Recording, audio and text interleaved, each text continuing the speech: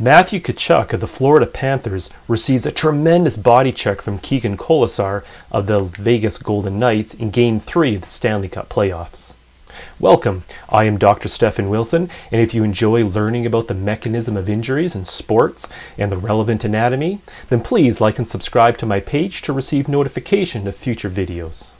In Game 3, of the Stanley Cup playoffs, Keegan Kolesar lays out Matthew Tkachuk of the Florida Panthers. On the replay, we can see Kolesar leading with his left shoulder and making contact with Tkachuk's left shoulder. At the time, Tkachuk appears to be relatively unprepared for the impending body check, and as a result, he is not braced well and falls to the ice quite forcefully. When Tkachuk falls on his right side, his torso and his right elbow all make contact with the ice. When Tkachuk gets back up, he is seen favoring his left side. Tkachuk did miss a portion of Game 3 following the hit as he was removed from the ice by the league mandated concussion spotter. It is assumed that he passed the initial concussion protocol as he then resumed playing later in the game, but in obvious discomfort.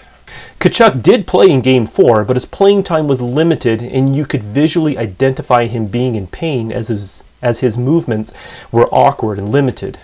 At times, he also avoided using his left arm. While on the bench, he could be seen uh, being evaluated by the team athletic trainer. Tkachuk did not dress for Game 5 as his injury was significant enough to keep him out of the lineup. Following the end of Game 5, it was announced that Tkachuk had suffered a fractured sternum as a result of the body check from Kolesar. The normal anatomy of your sternum consists of three sections of flat bones on the front of your chest. These three bones together make the front part of the protective structure that houses organs such as, of course, your heart and your lungs. These three bones are called your manubrium, your sternal body, and your xiphoid process. These three bones also serve as attachment points for your ribs and the rib cartilage, as well as many muscles in that area. So what we saw on Thursday night was Matthew Tkachuk sustaining a fracture to his sternum from a clean body check. It actually requires a lot of force to cause a fracture to your sternum. The majority of sternum fractures actually occur in car accidents when a person's chest hits the steering wheel or sometimes the shoulder harness remaining stationary as a person's chest presses into it or from chest compressions from receiving CPR. In Tkachuk's case, it was Kolesar driving him to the ice with a body check.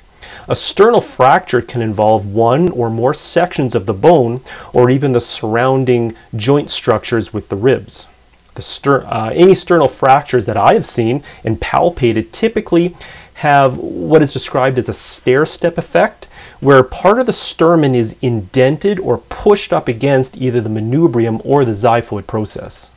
Matthew Tkachuk will be physically uncomfortable for some time as he heals from his injury. Thanks for watching.